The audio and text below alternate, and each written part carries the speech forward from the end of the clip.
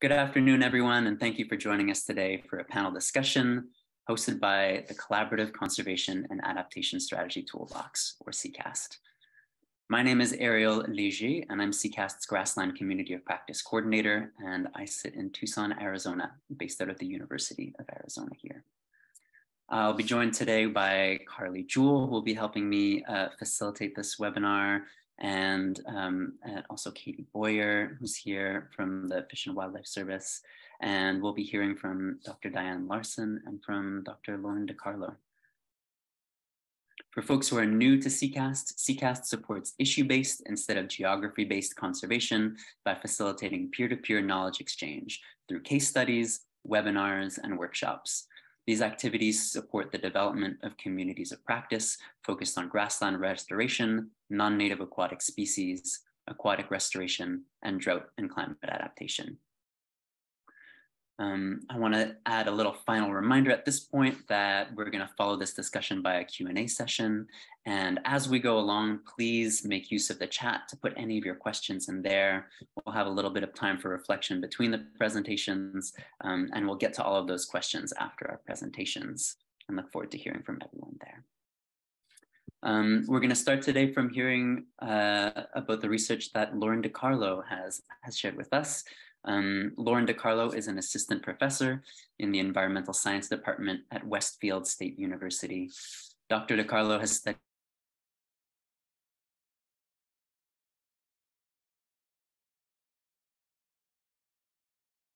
in semi-arid grasslands for nearly a decade and her research will take it away. Lauren, feel free to share your screen and, and uh, yeah, take it away.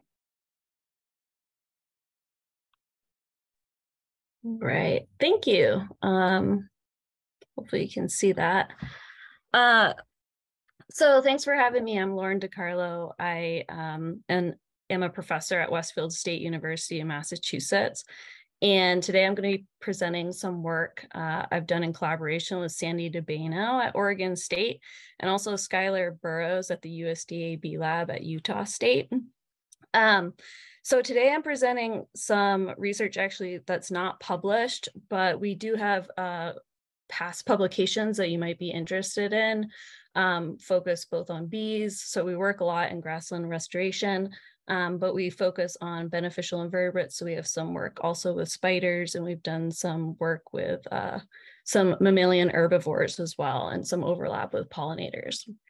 So um, just a brief history of North American grasslands. Um, since European settlement, over 99% of grasslands have declined in North America, primarily due to agricultural conversion. Uh, but currently, the threats we see on many of the grasslands, especially in the Pacific Northwest, are altered fire regimes.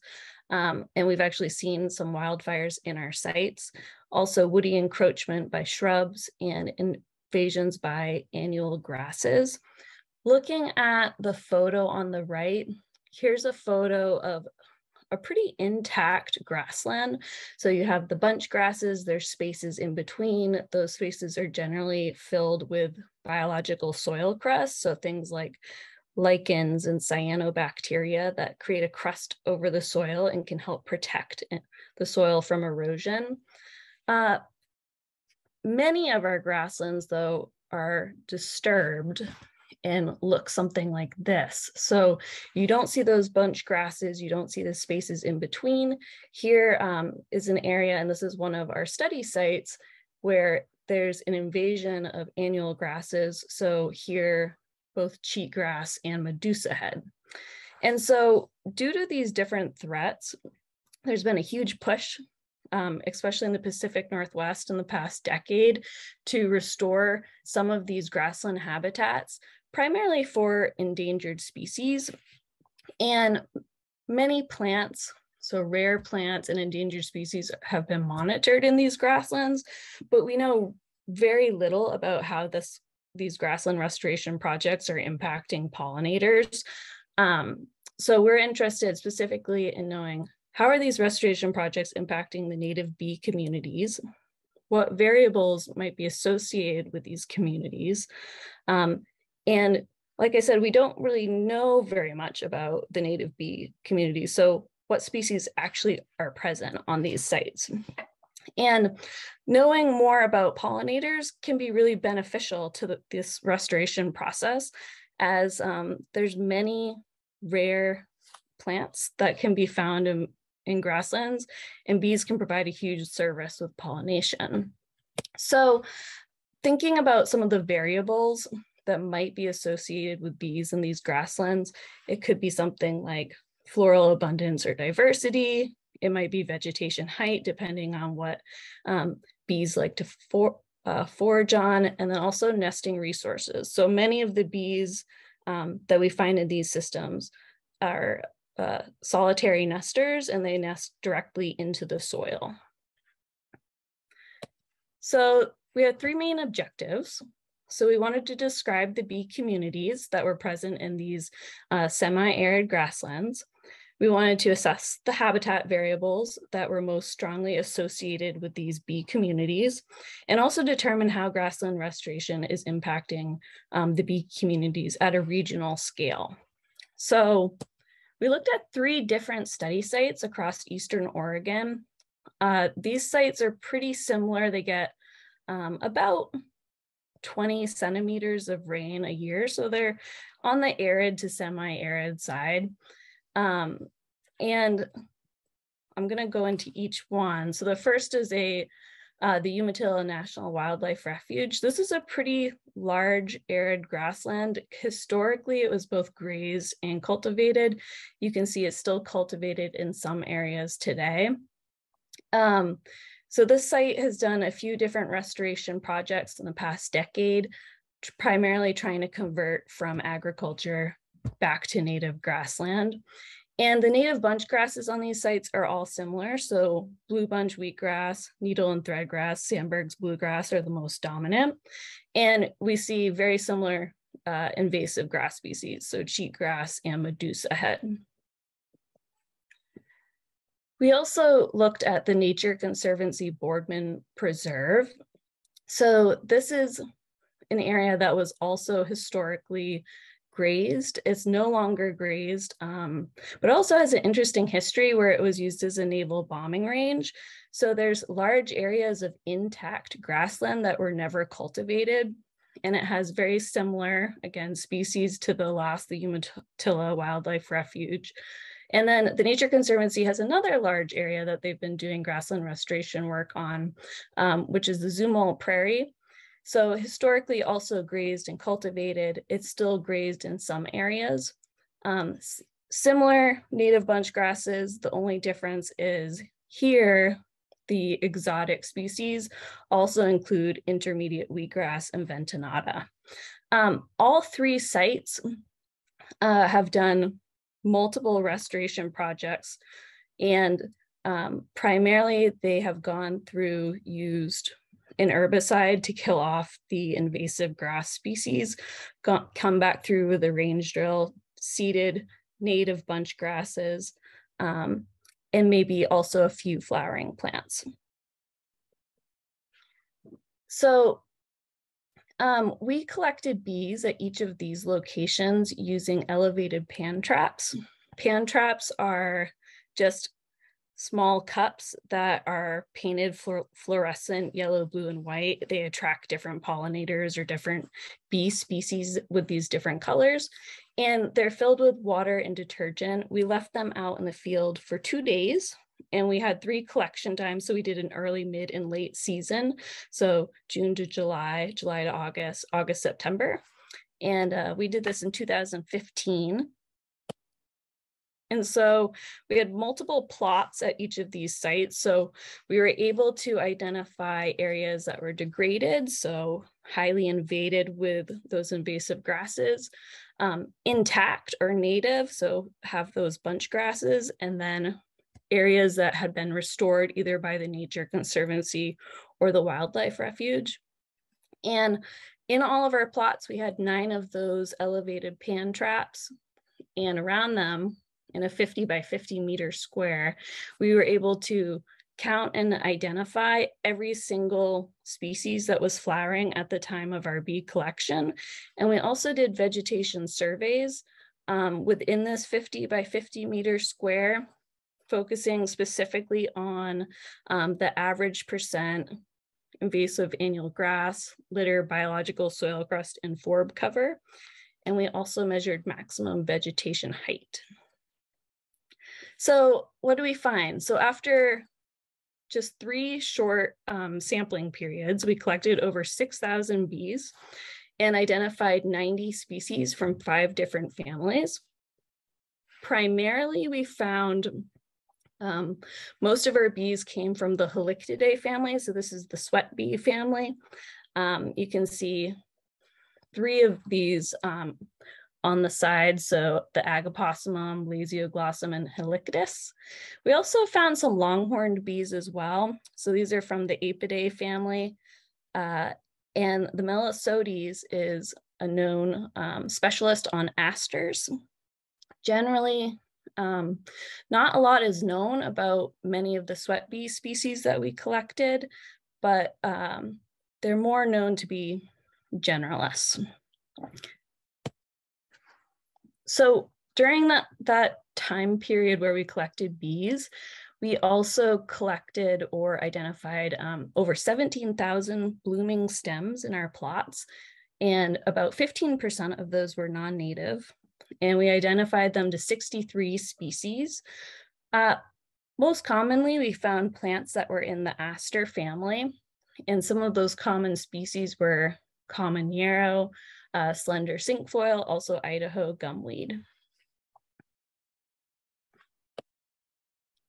So looking at how restoration impacted uh, the bee communities. So uh, we actually did not find any difference between bee abundance, richness, or diversity between our three treatments.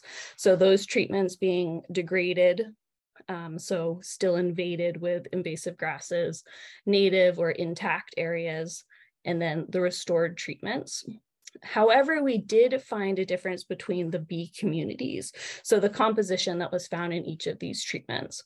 Um, and what we found was that there was very different composition in the native plots compared to the degraded and restored.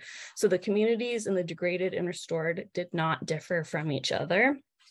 Uh, looking at how uh, these treatments, so the restoration treatment impacted uh, habitat variables, we see similar trends where, for example, with invasive grasses um, or litter, we're seeing that the percent cover of that in the degraded and restored don't differ from each other. However, there is lower amounts of invasive annual grass litter and litter in the native sites. Um, and then there's also a change in the biological soil crust cover. So there's higher biological soil crust in the native sites than in either the degraded or restored sites. Um, biological soil crusts are really interesting in this area where after a disturbance, some crusts may be able to recover quite quickly, but other crusts are known to take up to 250 years to recover. Um, so this might be something that takes a lot longer than, you know, a decade or two after restoration. Um, vegetation height and forb cover, we didn't find any difference uh, between any of the treatments. Uh, but what we think is happening here is that with the restoration, the grassland restoration treatments, what it, when the um, prescription or the treatment is happening, big changes in the invasive annual grasses and the litter cover is not is not bringing it back to those native levels. So bees that might want to um, nest in the ground may not have access to these areas if there's a lot of grass cover or a lot of litter cover. And one other thing I wanted to mention too is in this study, so looking at this at a regional level, we found a really strong relationship between total bee richness and total floral richness. Um, you would think that's a given. So like obviously if there's more um, floral resources, there would be more bees, but this actually isn't always the case. It's this relationship seems to be much more nuanced. So if we look at individual sites, we actually don't see this relationship. And other researchers um, in some studies that have been published may have found this uh, relationship or they may have not found any relationship between bee richness and floral richness. Same for like bee abundance and floral abundance. So uh, general conclusions, um, we found that bees were pretty useful for monitoring restoration techniques where maybe uh, current grassland restoration practices are not restoring habitat to allow for pollinators um, to move back into the area. Uh, so those restored areas are not yet mimicking native areas. And then um, thinking about how to improve this and thinking about how to change grassland restoration prescription treatments, um, thinking more about nesting habitat. So maybe being able to reduce that litter or being able to increase the number of forbs or flowering plants that are seeded. And so with that, um, I just want to acknowledge we've had a lot of support um, and funding for this, and a lot of people have have uh, contributed to this project. All right, with that, thank you. And I can stop sharing. Thank you so much, Lauren. Diane, as uh, as you switch over to, to sharing your presentation, um, yeah, I'd encourage everybody who's listening in to put any questions for Lauren into the chat or questions that you might have for other folks on this call. Um, yeah, if anybody has experience increasing uh, nesting cover and grassland restoration, we'd love to hear from y'all during the, the discussion. Um, if folks have questions about how to do that, drop that into the chat, things like that. Um, so yeah, without further ado, uh, Diane, I'll pass it to you.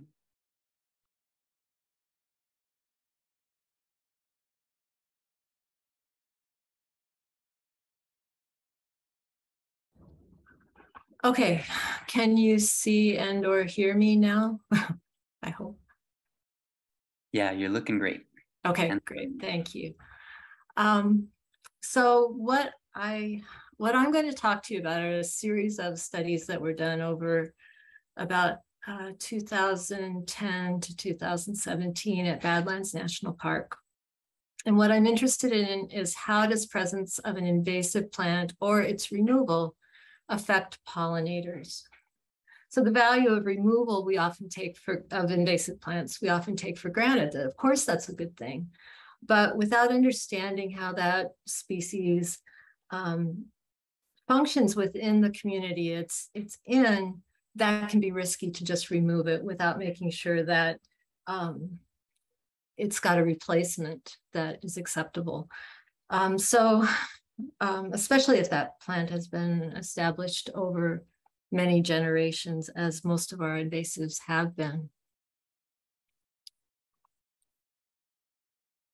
So this is um, Badlands National Park in South Dakota. It's, I'm just showing you the locations of our study sites. Um, the park itself is made up of two basic vegetation types, the western wheatgrass prairie and the sparse vegetation. And we have study sites in each of those, um, about equally divided between those two um, types of vegetation.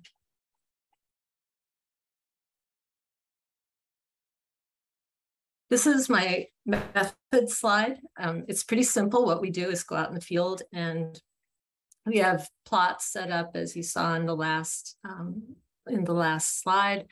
We collect insect species that we find that are it, uh, that are in contact with the reproductive parts of flowers.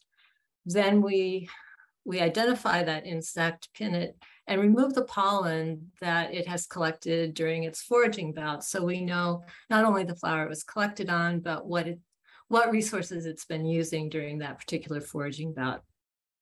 And the result of all that is that we get, as you see here, hopefully,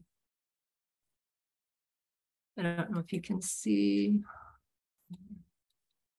Okay, so this is what you wind up with is, is a, a network analysis basically that connects all of the different players, the plants and the insects, and shows you who's sharing pollinators with whom and plants with whom, that sort of thing. And I'll, I'll show you a bigger example of that later, but just to go, just to show you what we're headed for. the really important thing that we look at in this network analysis is um, modularity. And that's what I'm going to be talking about the rest of the time. So um, modularity are basic modules are the building blocks of networks. So the plants and insects that interact more with each other than with other members of the network are said to form a module. And there are three types of, of actors. The hub, which is uh, linked to almost all the members, well, linked to every member in the module. The connectors, which connect the modules one to another. And the peripherals, which really don't have very many links to anything. They could be rare, they could just be poorly sampled, um, but they're basically connected just to the hub. So the, the importance of modules is that they can prevent perturbations from propagating through an entire network. For example, if you look at this, this is a module, this is a module, and this is a module. This one, if this, for example, was an invasive species, this hub species, if it was controlled, this, this module might just go away. But that module going away is not going to really affect these other modules because it's very weakly connected to the others.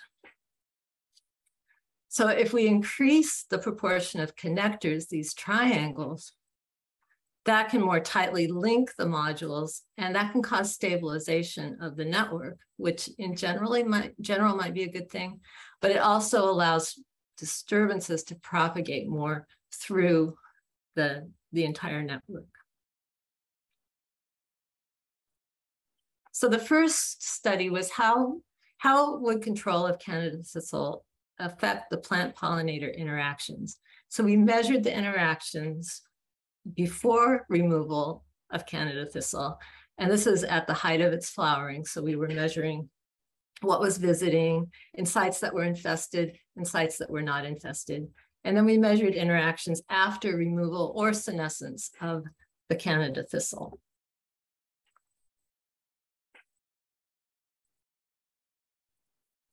So what we found was that this is increasing modularity, and this is a sample period from early to late in the season. This was after removal or senescence, and this was before removal or senescence. The dark bars are the non-infested sites. They were not infested by Canada thistle. They might have other invasives, but they didn't have Canada thistle. And the gray bars are the ones that were infested by Canada thistle. And what's really obvious is that over time, as Canada thistle declined and was removed, um, we saw a, a, strong decline in modularity that we did not see in the sites that were not infested with Canada thistle. So what was happening is that these connectors that were visiting Canada thistle were able to move to different species and that tighten that network and reduce the modularity that there weren't so many separate modules, they were more connected to each other. So the implications of this, um, first, Canada thistle did increase the stability of our plant pollinator network.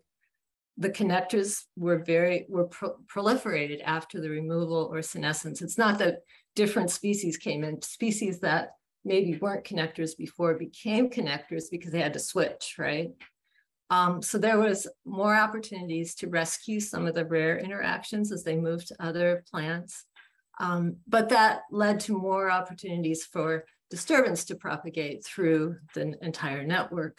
But the big deal is that rewiring happened. So lots of insects are generalists, and when there was a decline in one species, they could move to others the key thing from a management perspective is you got to provide those other species so that those insects have something to visit when you control um, the invasive that you no longer want. So um,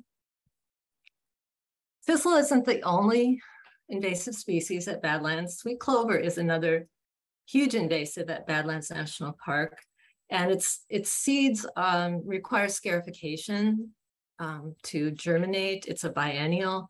So when there's a really good, a good season for scarification, you can get just incredible blooms of Canada thistle. It's very thick.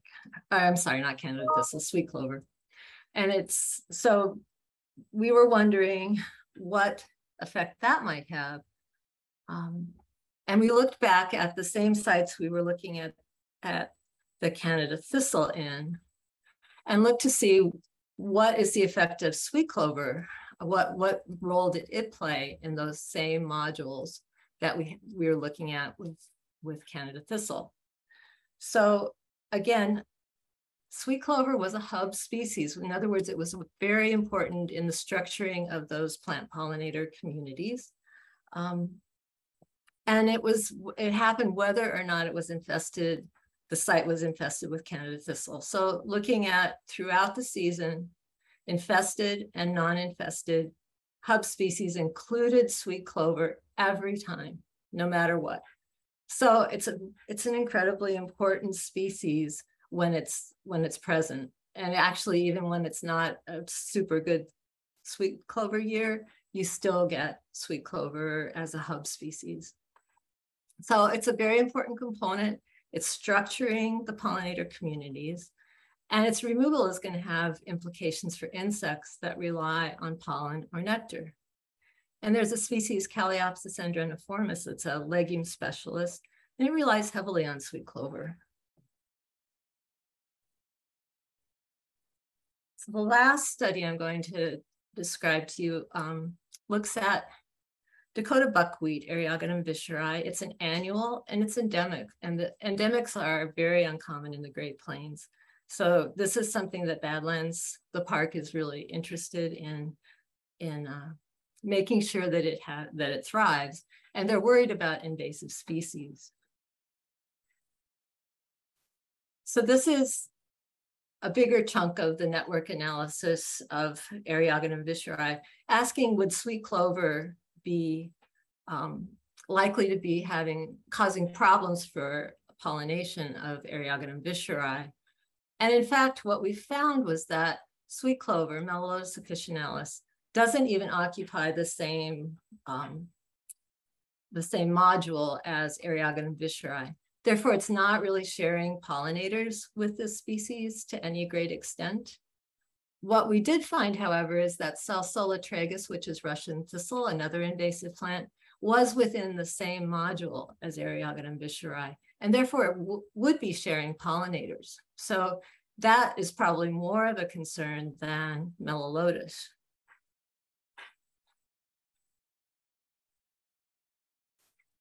So to look the, the implications of that, first of all, sweet clover, again, we found it was um, a hub species and a very important organizational component of this, these flower visitor networks. But endemic Visher's buckwheat shared very few insect visitors with sweet clover. So that's not an issue, but Russian thistle could be. So we wanted to then ask how do shared visitors affect seed set of Visher's buckwheat? And this leads me to our last, this was an experimental approach we took in the field. This is the little flower that's um, interesting to try to hand pollinate. But we did, we added Eriogonum visheri conspecific pollen, we let, added Melilotus pollen, Russian thistle pollen, uh, a congeners pollen, or we left it open pollinated. And these will self, I should say. So, and what did we find? we found no difference. This is the achene weight, uh, the little seed that it produces over time. They all declined at the same rate over time, which you would expect over the season, but there were no differences in um, those treatments. So adding pollen from non-native species, either of the non-native species or anything else for that matter, didn't affect seed, his seed weight. So um, leave you with a couple of, of observations. First, sweet clover and Canada thistle are resources for pollinators at Badlands. So when you think about controlling an invasive species, it's important to consider their role in the ecosystem they inhabit. The effects of removal on pollinator communities are really hard to measure. We don't have a good sense of, of the actual populations of the bee species we documented, just that they were present or not. And we saw them often or not, but who knows what their actual abundance was. This is important, but we don't know how to, I mean, that's very hard. Mark recapture is, is difficult on anything but bumblebees. So we need better methods for assessing pollinator abundance. Nonetheless, we have some evidence that, it, that removing invasive species can matter. And then I want, I want you to think a little bit about how novel interactions, um, what, what do we do about that? So we might have an exotic plant that's sustaining a native insect that wouldn't have been abundant or even there at all maybe prior to arrival of the exotic. Think of Calliopsis andreniformis, who's you know taking advantage of the sweet clover.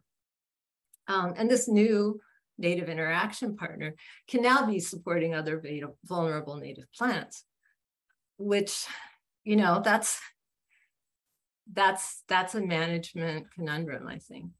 And what I'm showing you here, this picture is actually taken in my garden. This is um, the endangered bumblebee, Bombus affinis, and it's my garden is full of native plants, but what's it on?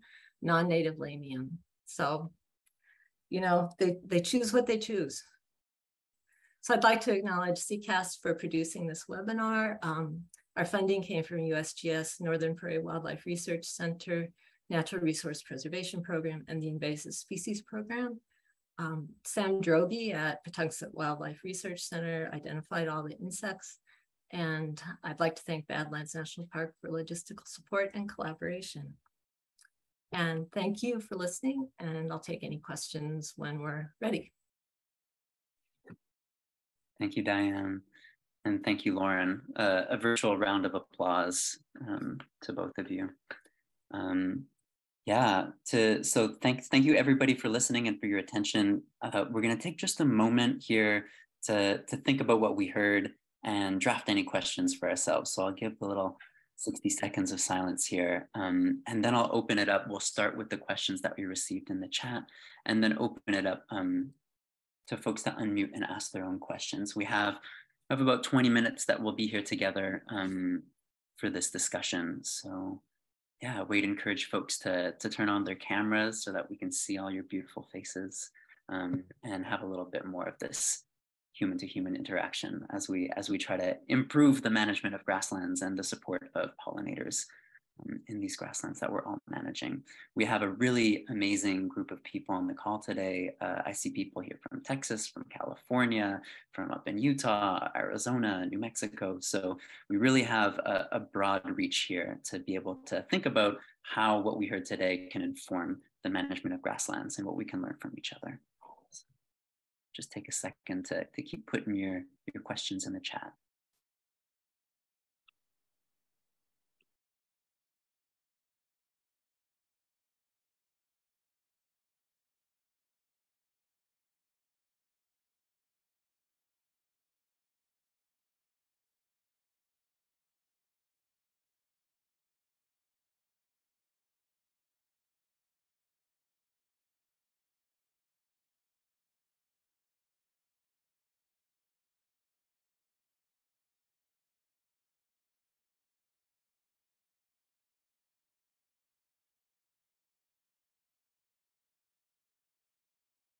Keep typing if you're going uh, and putting those questions in the chat and we'll kick things off with some of the questions that we heard um, after Lauren's presentation.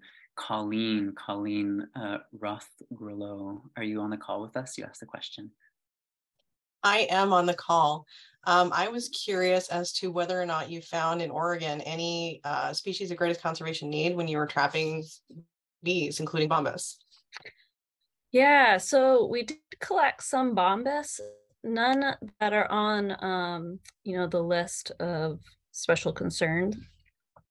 Uh, however, they are supposed to be in those areas. We just didn't collect any.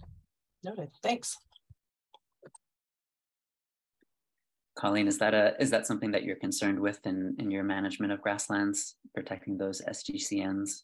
So most of my day job is um, uh, species of greatest conservation need for the Nebraska Natural Heritage Program. So that includes plants, that includes animals, and, and currently there's been a big push for some more bombus research in Nebraska. So they all tie in together. Yeah, yeah, absolutely. Is there anything that you're doing for specifically for pollinators in the grasslands you're managing in Nebraska? I am still learning. So there there are programs that are going on and there are pollinator plantings that are being put in place and have been put into place and they're being monitored. So we're just now getting a lot of those data into us to find out what we can do with them now. What are the next steps? Right. That makes sense. Thank you so much. Yeah, I just I would add to that with the um right now with like the spe- the species of greatest con- um concern or conservation need a lot of the bee species are only bombus but we just know so little about any of the we have 4000 species of bees in north america and so we just know so little about which ones actually are rare and and which ones need the most yeah that's a really good point um, excellent. We got another question from Valerie Foster. Valerie, are you still with us?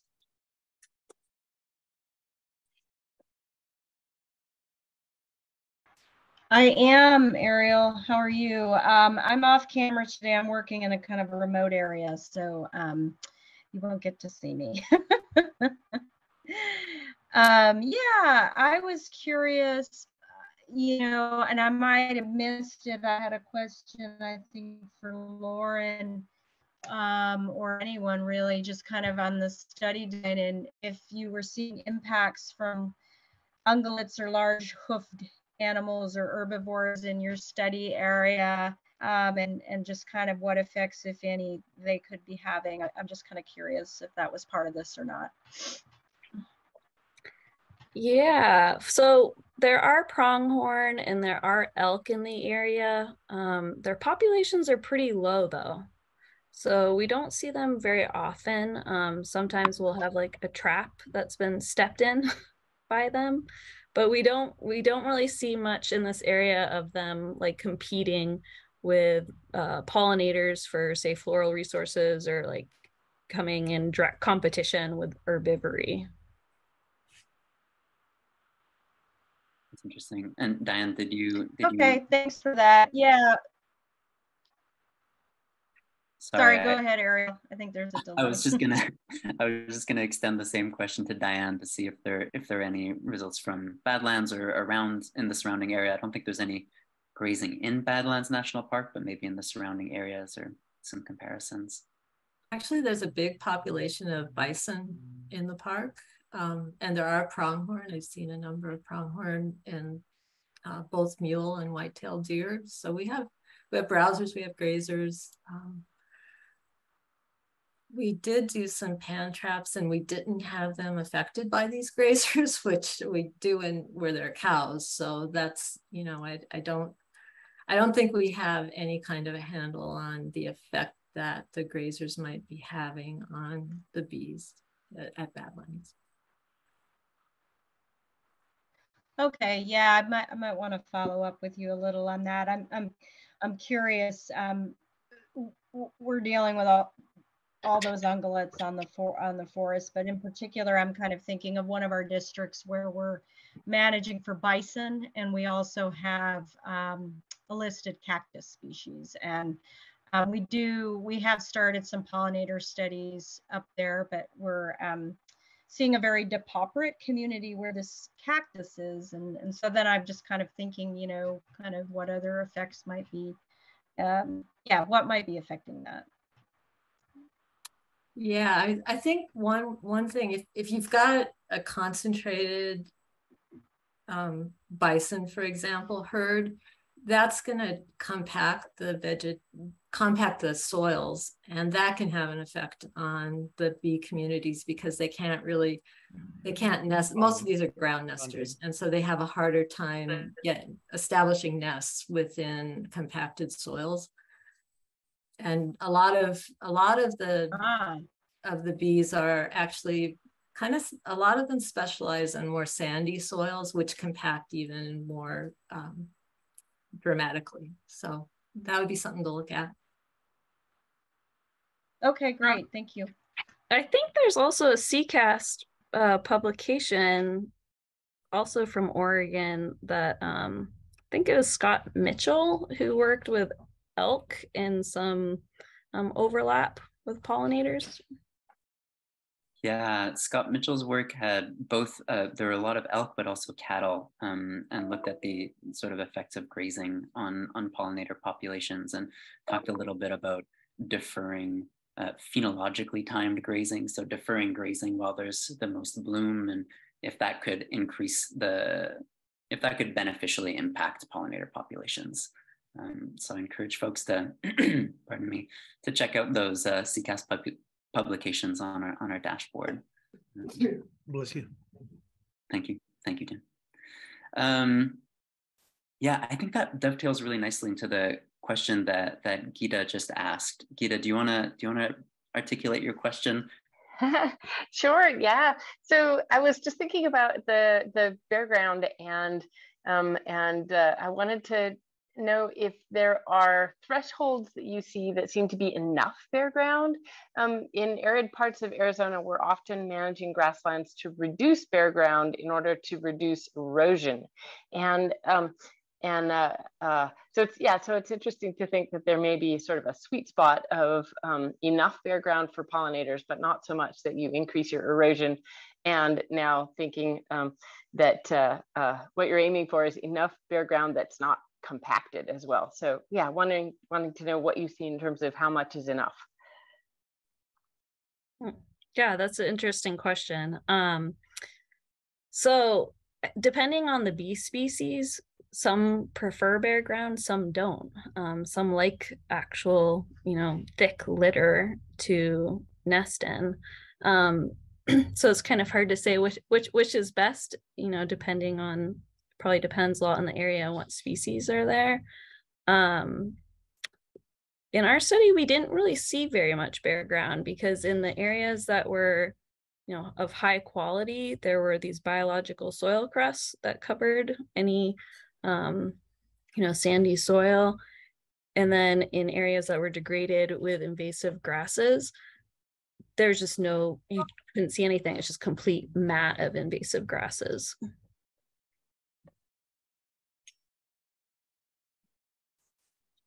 I'll ask a follow up then. Will the uh, bees that nest in bare ground will um, will they use areas with biological soil crusts? Can do they just chew through them and nest there anyway? Or I'm sure the answer for some is yes and some is no, but is that a thing? Um, that's a great question. I I don't know that I've ever heard of one like chewing through the bare or the soil crust, but I assume they have to because how else would they would they get you know access to that soil to build um, like little chambers. That's great. I can imagine uh, david attenborough narrating that scene right now that'd be amazing. Great question. Thank you gita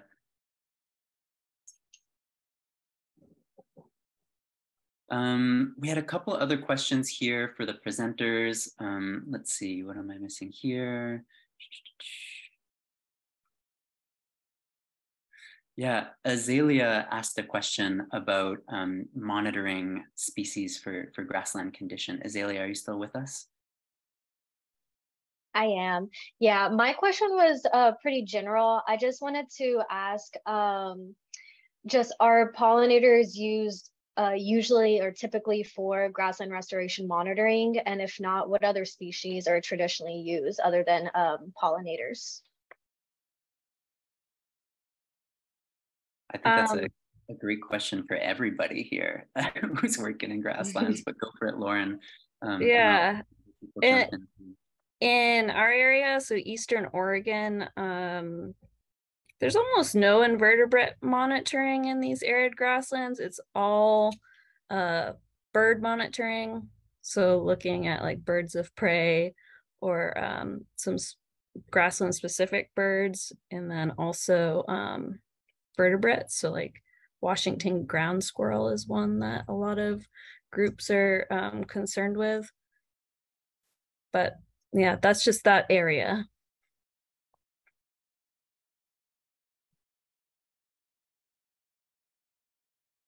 Yeah, if anybody else has has something to say about what species they're looking at to sort of use as um, the way I'm interpreting your question, sort of uh, interpreting the success of grassland restoration with sort of indicator species. Um, exactly. I'd love to hear from, from some folks uh, in different regions and what those indicator species are. And, and yeah, maybe if if pollinators could be a, a, a useful addition based on how onerous it may or may not be to monitor for these species.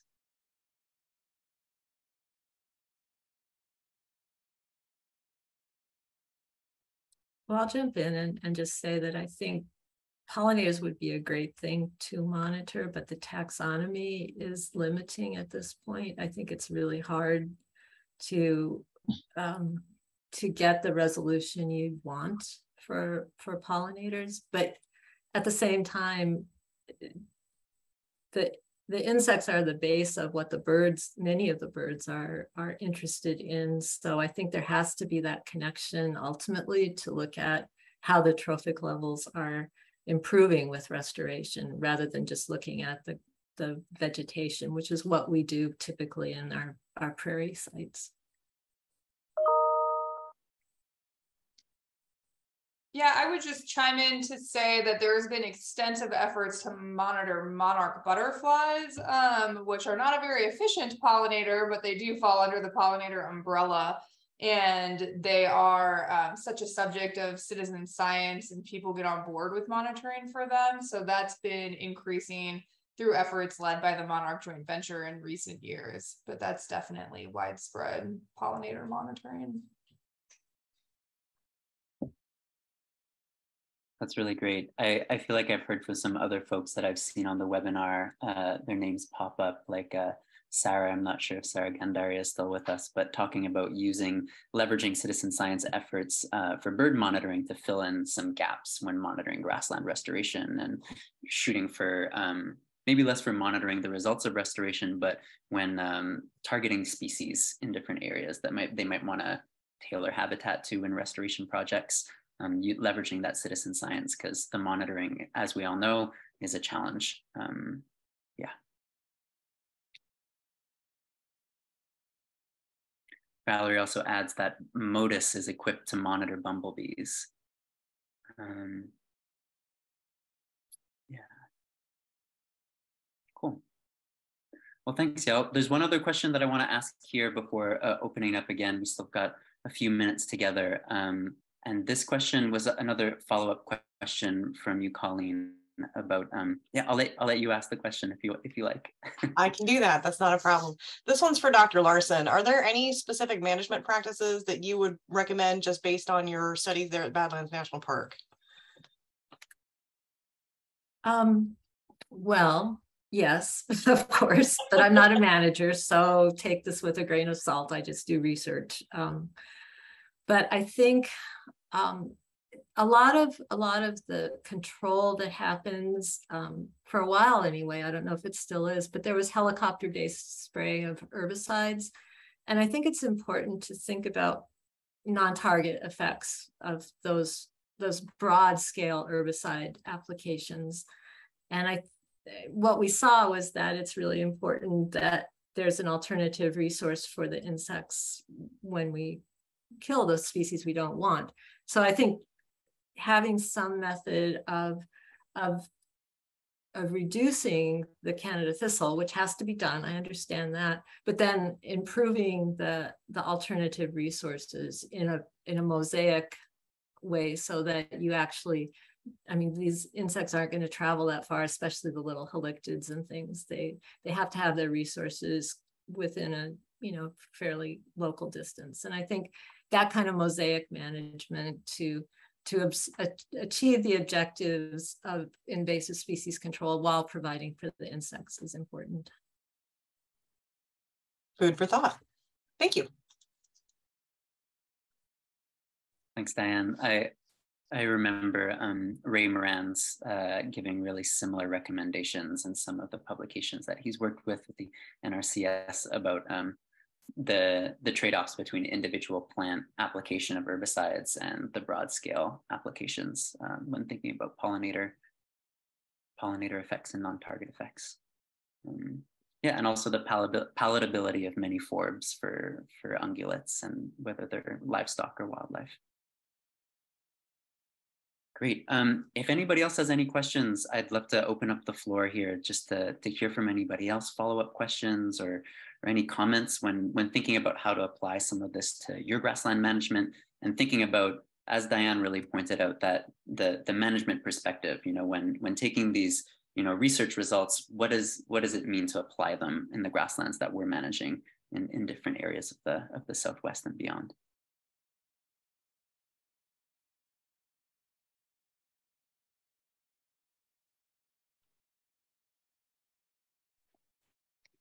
Hey, I'll jump in with a a question I'm I'm wondering about. Um, and it doesn't doesn't seem like there was really uh, like woody encroachment going on with you know any of the, the presentations today. But I'm kind of thinking in, in terms of we're here in northern Arizona where uh, where we're doing a lot of juniper removal and you know reducing encroachment. Um, wondering you know to what extent can that kind of you know add like heterogeneity to the landscape? Like is that is is the either uh, are would there be grassland bees that that nest in dead juniper stems? They definitely will collect, you know, litter and maybe a little bit of a different uh, floral or you know, uh, yeah, floristic community.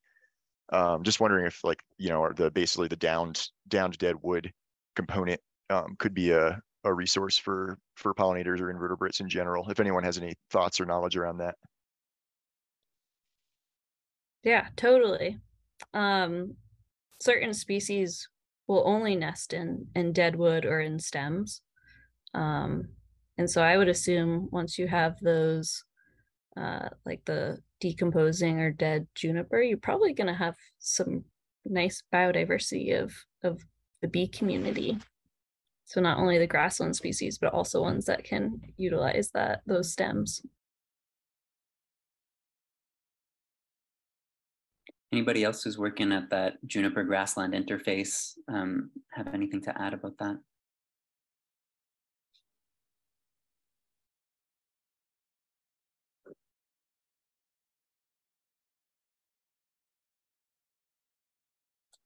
Well, yeah, and if, if not, thank you for the thank you, Lauren. I, you know, I think uh, as we, you know, there's I think there's a lot of discussion around here about sort of the value of keeping those on the landscape versus, you know, piling and burning basically. And I've always expected, you know, I think in general we perceive them as as adding, if nothing else, you know, windbreaks and useful useful for you know grassland reestablishment. But um, I would have to assume that there is a variety of values with those. Um, so yeah, well, thanks for the response.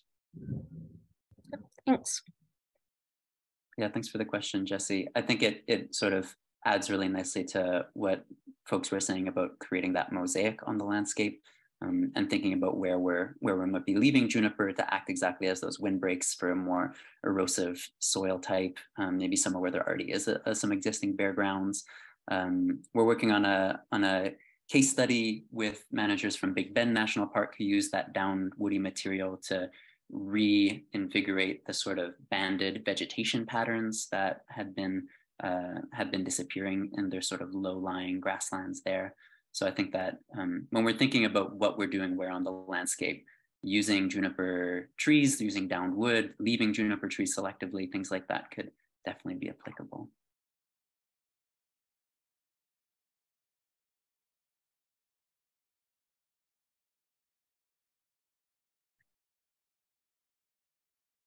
Well, thanks, folks. Um, we're coming up to the top of the hour uh, we want to respect people's time. Uh, so if you have to, if you have to leave, uh, feel free to, to log off. If you have any other additional questions, um, Lauren, Diane, do y'all have a little bit of extra time to stay and ask any additional, answer any additional questions?